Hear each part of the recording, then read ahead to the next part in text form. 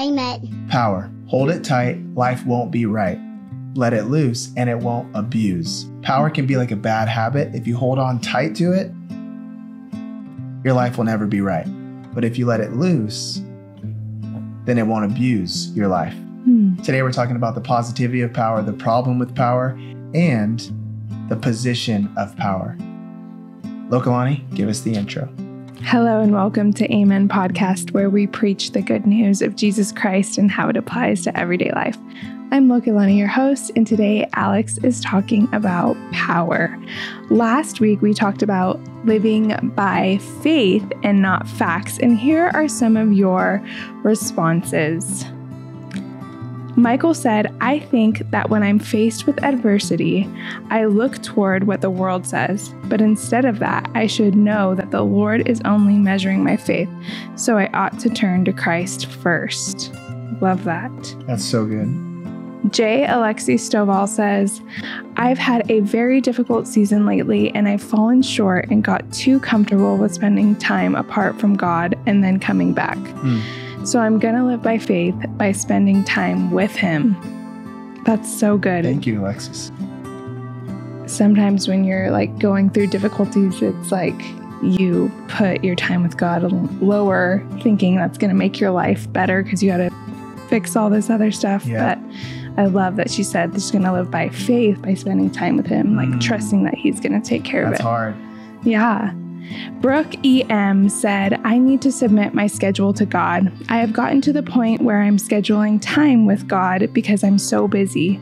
Hmm. I need to live less by the facts of what I need to do and more by faith.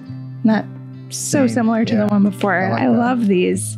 We're so encouraged by these and um, we just we hope you are too and we'll have a time at the end of this message as well Mhm. called after the amen where you're also able to respond to this question and you'll hear a little bit of my response from the message as well so stay tuned for that today we are in matthew chapter 4 verses 8 through 11 and i'll go ahead and start reading Let's do it.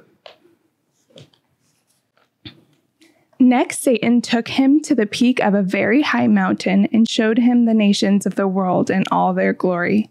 I'll give it all to you, he said, if you will only kneel and worship me. Get out of here, Satan, Jesus told him. The scriptures say, worship only the Lord God, obey only him. Then Satan went away, and angels came and cared for Jesus. Amen. All right, so the positivity of power, the problem with power, and the position of power. First off, let's talk about the positivity of power. There's a positive side to power. It's not all bad, right? Just like regular electricity, there's a negative side, there's a positive side. Well, with the power that you're going to experience, whatever power you may have creative power, intelligent power, uh, I don't know, political power, economic power, financial power, whatever power you have, leadership power, there's a positive side to it. Verses 8 and 9 tell us one of two. There's two main positive sides of power reservations and rest. Look at verses 8 and 9. It says, Next, Satan took him to the peak of a very high mountain. Say that out loud, underline it. And showed him the nations of the world in all their glory. I'll give it all to you if you only kneel and worship. So, what is he saying here? He's saying, with great power comes great reservations. Jesus has all the power in the world. He's the Son of God. He's also the Word of God. Satan knows the Word of God. Satan knows that the Word of God in the Old Testament says that all these things belong to the Son of God, all the nations, everything. So, why is Satan fronting as if the nations belong to him? Well, he's not fully fronting. The devil never fully front fronts. He fronts like a little bit. Because what he's saying here in verse 8 and 9 of Matthew 4 is that he can give the nations to Jesus if Jesus bows down and worships him. That's partly true.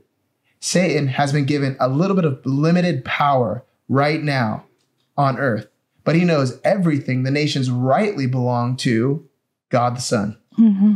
because God the Father has given them to the Son. But what he's saying here is, Jesus, you can do a shortcut. He, he knows that these nations are reserved for Jesus because with great power comes great reservations. He it all belongs to him. But he's saying, Jesus, we know these are yours, but for right now, like I'm ruling over them. I'm the prince and power of the air. Mm-hmm. 1 Corinthians 4 4. And so instead of going through the cross and the suffering and the obedience to God, instead of doing it God the Father's way and his will, why don't you just shortcut it and worship me and I'll give it all to you? With great power comes great reservations. Jesus has so much power. All things are reserved for him. We see this when we go to a restaurant. You know, if you are Bruce Wayne and you walk into a restaurant and they say, Well, we, don't have a reservation. We're never going to get in here. What does Bruce Wayne say? Oh, they should. I own the place. That's literally what he said in the movie. I remember that verse and mm-hmm. that part. Mm-hmm. And they bring out a table and put it in the middle of the room, and they mm-hmm. he sits down without a reservation because he has great power. Jesus has great power. Even Satan knows it. And what Satan wants, what Satan wants Jesus to do is to lay down that power in exchange for worship to him. This is what Satan wants from all of us. All of us have been given a certain amount of power Again, creative power, economic power, intellect. There's all kinds of powers that God has bestowed upon you to use for his glory. What the devil wants us to do is to lay down that power in exchange for worship to him, and he'll give us the things that our flesh desires. We hear it all the time. There's selling your soul to the devil. Whether that's actually true or not, what's actually happening is people are using their power to bring themselves glory and to get what their flesh wants. Mm. But the positive side of it is power is so great. There's a reservation that comes with that, but there's also a rest that comes with it. Another positive side of power. The more power I hold, the more rest I have. If we truly had great power, we would experience great rest. You know, how do the rich vacation? On private islands in private jets. Doesn't it seem like they have so much rest? It's a worldly rest. It's a carnal rest. It's not a it's not a spiritual rest. If not, if it was, they wouldn't be spending so much money trying to find that rest. But in a physical sense, maybe they they are very rested, sleeping on a private jet, sleeping on a private island. The more power I hold, the more rest I have. Look at verse 11. It says, Then Satan went away, and the angels came and cared for Jesus. So here's Satan tempting Jesus. Jesus responds to the temptation with the word of God. He says, Go away, Satan. Sometimes the only thing you need to say to Satan, to sin, to flesh, to temptation is one word go. You know what go means? Get. Go in Greek means get. It's what we say to a dog that's a stray and probably has rabies and is about to bite your child. Get. Get. That's all you got to say to a dog. Once it hears that one syllable, it's out of there.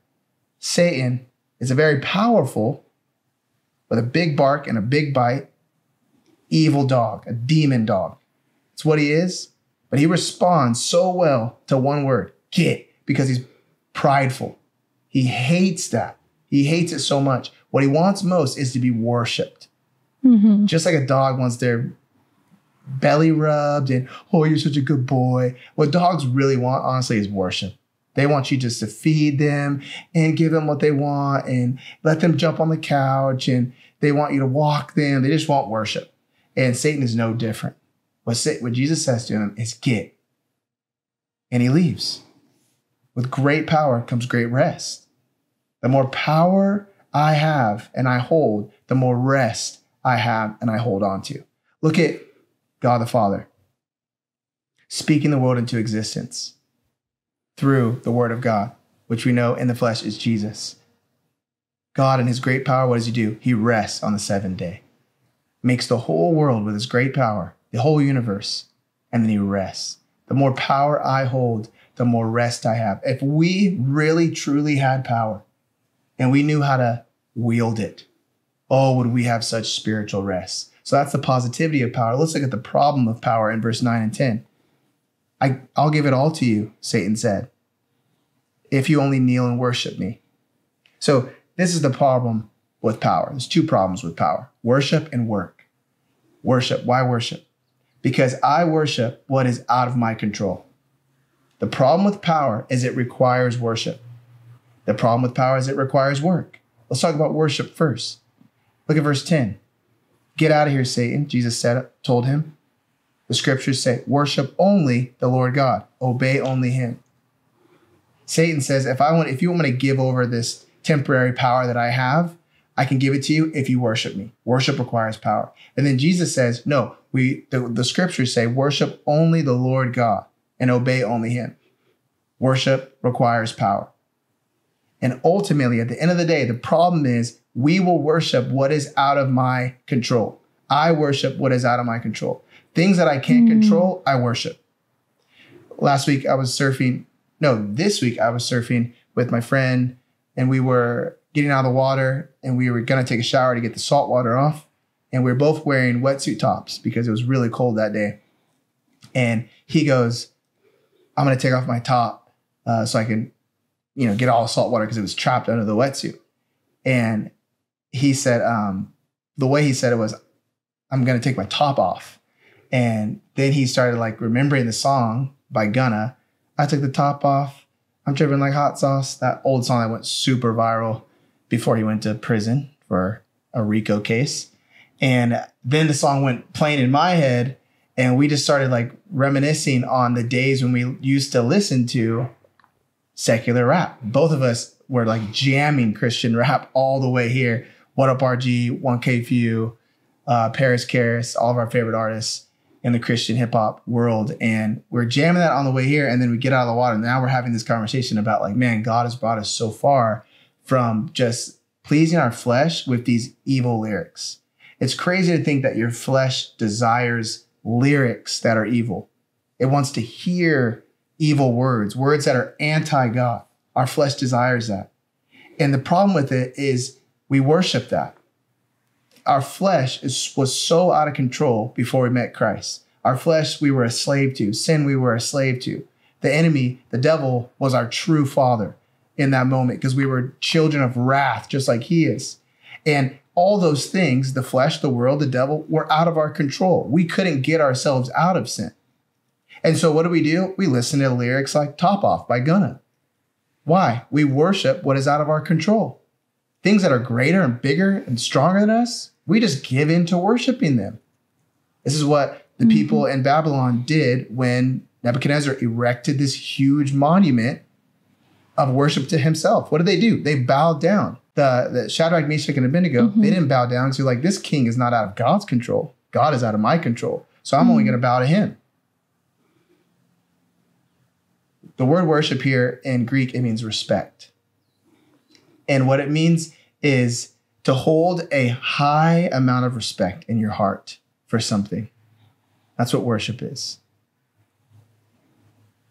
So in that moment, when we were reminiscing on these old lyrics that reminded me of what I used to worship. I was also reminded that now I worship God. I listen to lyrics that are honoring to Him, that exalt Him, because He is the one that I truly cannot control. He's given me the power now through the Holy Spirit to control my flesh, to control my sin, to control my desires. But now I worship the only one that is out of my control and that is God. Mm, he does what he wants. So that's the problem with power worship. It requires worship. But the, the second problem with power is work. Look at verse 9 and 11. I'll give it all to you if you only kneel and worship me. Get out of here, Satan, Jesus said.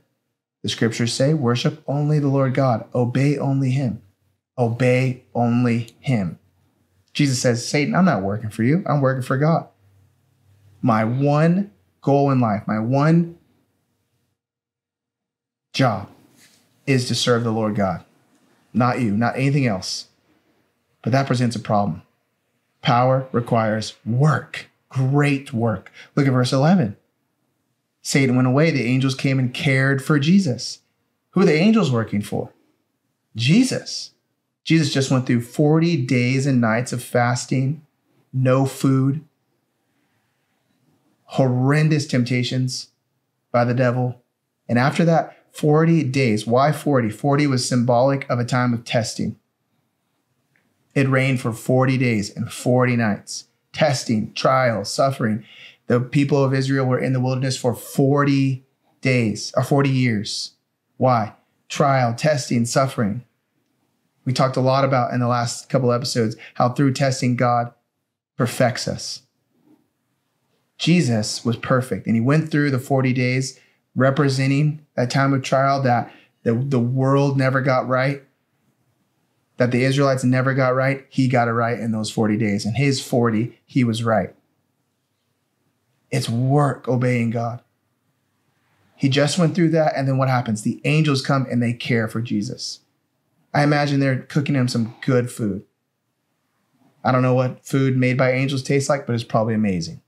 They're caring for Jesus. Maybe even gave him a massage or something. They're taking care of him. They're refreshing him. They're serving him. Why? They work for God. They worship God.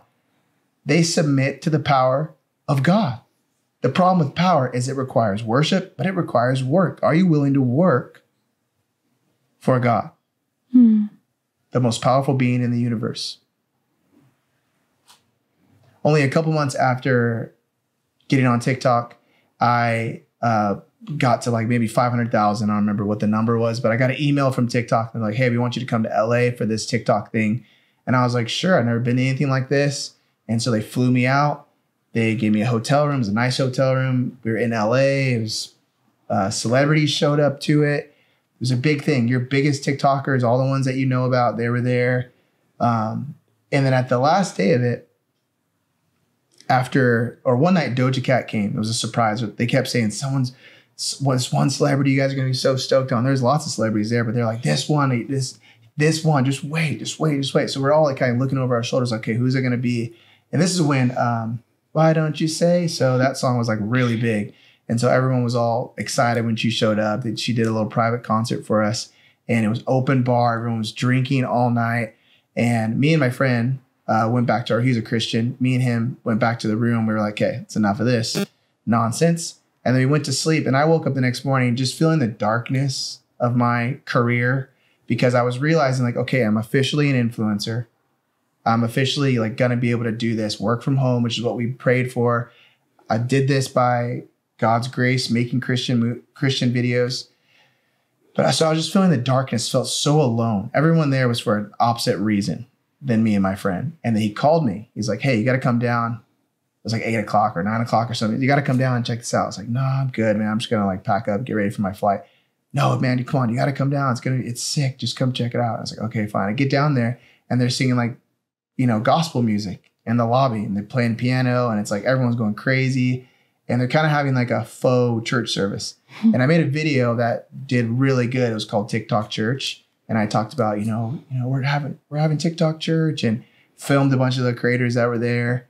And I remember seeing some of their eyes, seeing some of their faces, because they all know me as the Christian guy, right? And I'm filming them, and like their eyes would just get so big, but with not big like, oh, I'm excited, I'm in a video, which some of them are. Everyone's excited to be in a video when you're a TikToker, but it was more of like a shame, like, oh, you caught me, um, being hypocritical.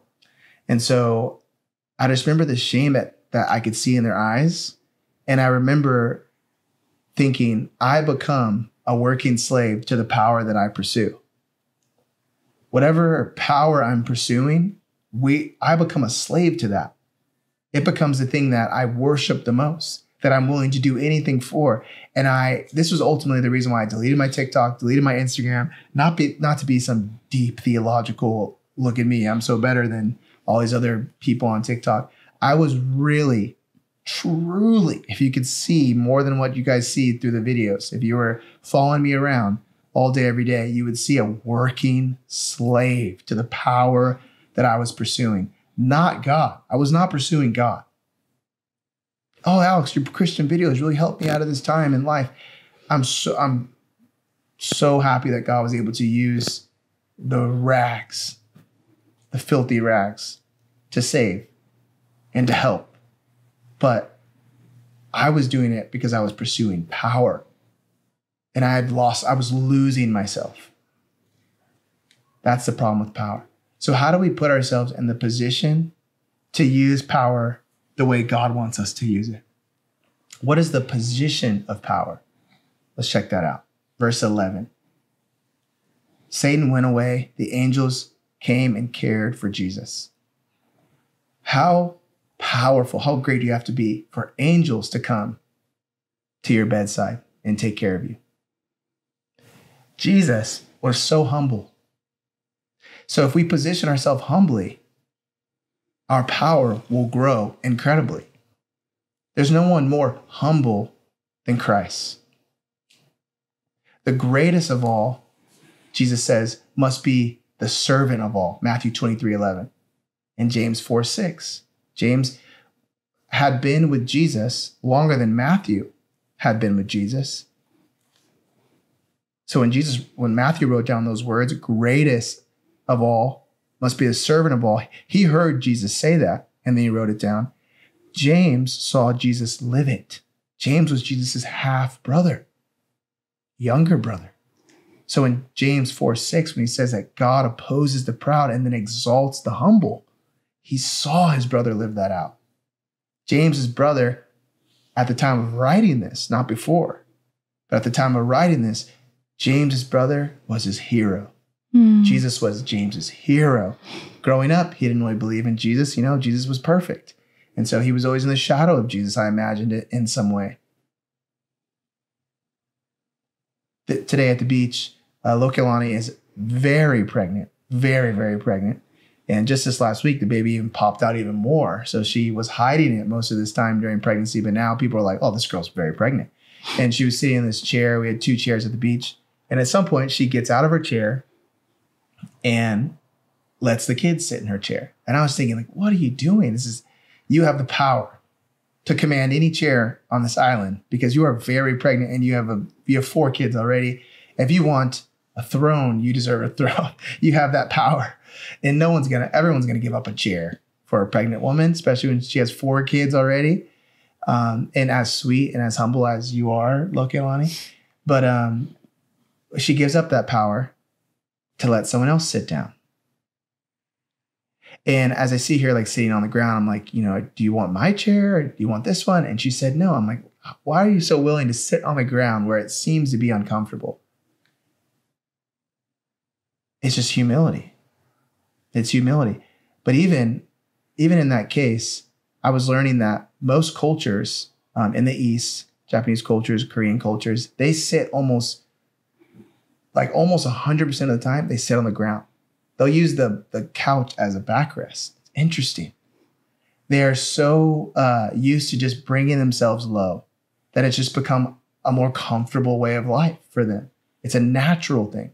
They buy a couch, they don't even use it. They buy chairs, they sit on the ground and eat. They're just so used to bringing themselves low. That's the kind of Christian I want to be. Because mm. that's where true power is, Jesus says. And not to mention, you know, Lokelani's posture is better than mine. She is able to like sit comfortably on the ground, crisscross applesauce with great posture. You guys see how she sits in the podcast. She sits crisscross most of the time. And so there's a greater power that you have when you bring yourself low. I wouldn't be able to push out four or five kids. She does it always within like 90 minutes. You know, when we get to the hospital, it's like an hour and a half later, maybe two. I don't think it ever went to two hours. Her pregnancies have just been so good. Thank God.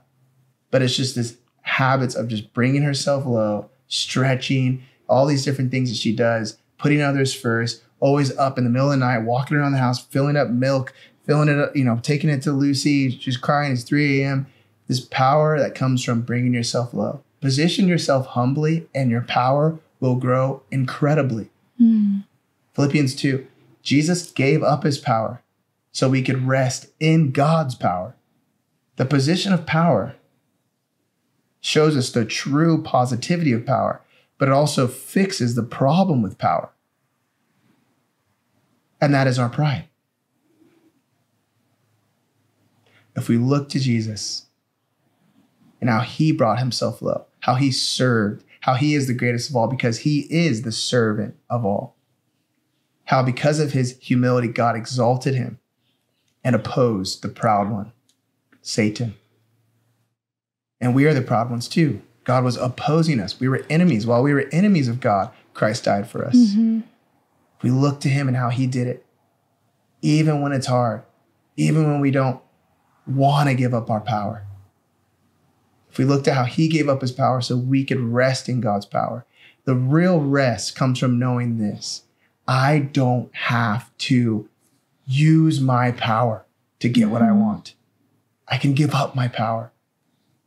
I just got to make some more money. I just got to get these people to listen to me. I got to get my kids in straight. I got to get more views. I got to get more success.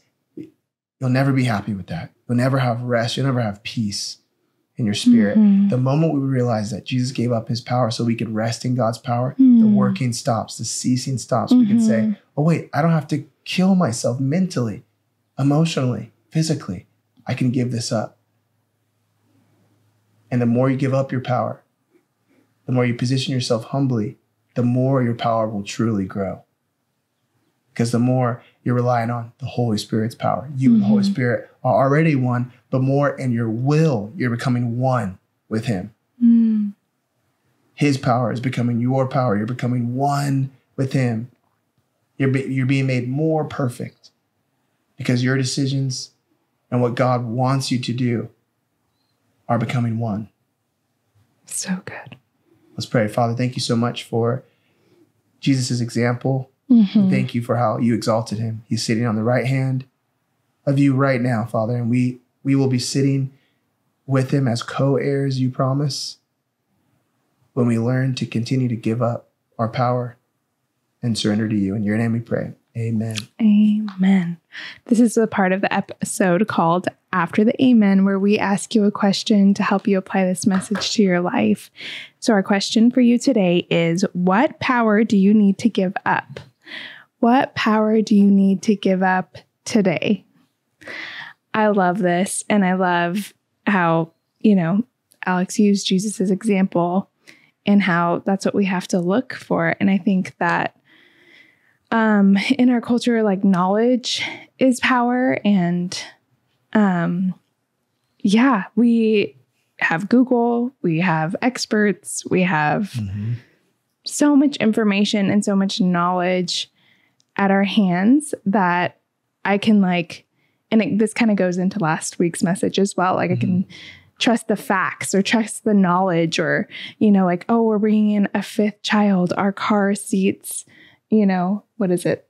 Eh, Our car seat seven, you know, we're at max capacity, but it's a little tight. Like the Mhm. back bench, I don't know how all four boys are going to fit, you know, like that's where my mind can start to go, you know, like I'm in the officially in the nesting stage of pregnancy. So it's like gathering all his clothes and then like thinking about the future, like thinking, oh, okay, what, how are we going to do like a nursery or is he just going to stay in our room for like a year? Like, you know, Mhm. trying to think of all the facts like last week or using knowledge as power so that I Mhm. can slip into sin, which is like worry or trusting in myself or trusting in the world or the facts instead of humbly trusting the Lord by living by faith. And I think that that's what I need to give up is knowledge. And what's cool is like we can, we have the opportunity you know, when we're in these like little cycles to remember what Jesus has done already, Mhm. what Christ has done first and foremost on the cross, but Mhm. um, just in our individual lives, you know, like we've been in this situation plenty of times with Yeah. homes and cars, and the Lord has always given us what we needed, and it's always like blown our mind, and it's always been good. But, you know, how tricky the enemy really could be like, okay, like, are you like, do you really think that's wise to have a fifth child? You know, I'm obviously Yeah. We're we're not thinking about it. We're having a fifth child, but you know, like you should really stop now. Like you should that's too much. The finances, the house, the car, this, that, like those are the facts of life that the world pushes. Mhm. Um, but trusting and living by faith and trusting Jesus, how much freedom you truly get, which to the world that's not going to make sense Yeah. because that doesn't seem like freedom. Mhm. But how much freedom to just like let go of all the world's little notions and ways and to just know like we're honoring the Lord Yep. by doing this and he's going to take care of it. And Yeah. he has done that in our lives and I know that he will do that in yours if you humbly submit to him as you were saying and um, just allow him to do to provide Yeah. and allow him to do the work. And I so I just love that that Jesus gave up his power so we could rest in God's power. Mm. And that's I feel like what rest is when it's like I don't have the answers. I don't know how you're going to do it, but I know you will. That's true rest. So, yeah, I think that's where I'm at. And we'd love to hear your answer to this question. And you'll also get an opportunity to maybe be featured in next week's episode. Mhm. So, Well, we love you guys. Thank you for that. Thank you for wrapping that up. I love your responses and how they just apply to your everyday life and what you're going through right now. And uh, that's what we love about your responses too. hmm And with that said, um, you guys have so much power over this podcast because you keep it going through your support. And so um, the true power from this podcast is from you. Over like 112 countries we've been listened in. We just got some analytics back this week from Spotify. Um, so that's Spotify alone, not to mention YouTube and Google Podcasts and Apple and stuff. And so, Mhm. because of the power that you guys hold in supporting and giving to this podcast, we're able to reach so many people. Lots to do in Matthew to finish out this book. We're going to be having lots of episodes in Matthew, Yeah. but it's been so good so far. So, thank you guys. AmenPodcast.com if you want to give. AmenPodcast.com. We love you, and we'll see you in the next one. Yes. And until then, go out and be the church. Amen.